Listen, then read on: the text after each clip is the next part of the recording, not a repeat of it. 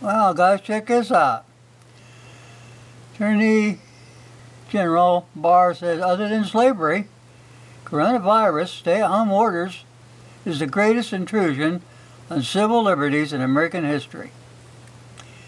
September 17, 2020.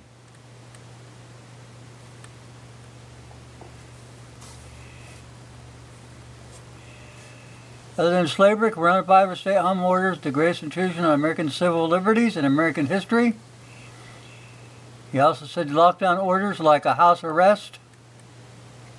He made this statement at, at Constitutional Day, uh, sponsored by Hillsdale College. You got to give people uh, the freedom to earn a living.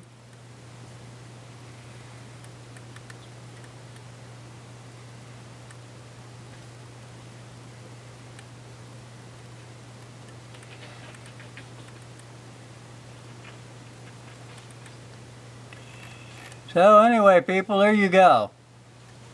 Right from the horse's mouth.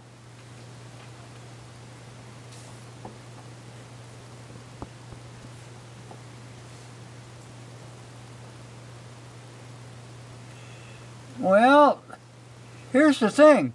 I'm thinking I need repar repar yeah, reparations from the World Health Organization and the CDC for them treating me like a slave.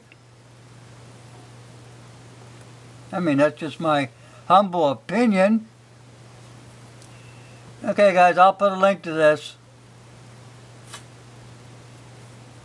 Looks like somebody somewhere is waking up.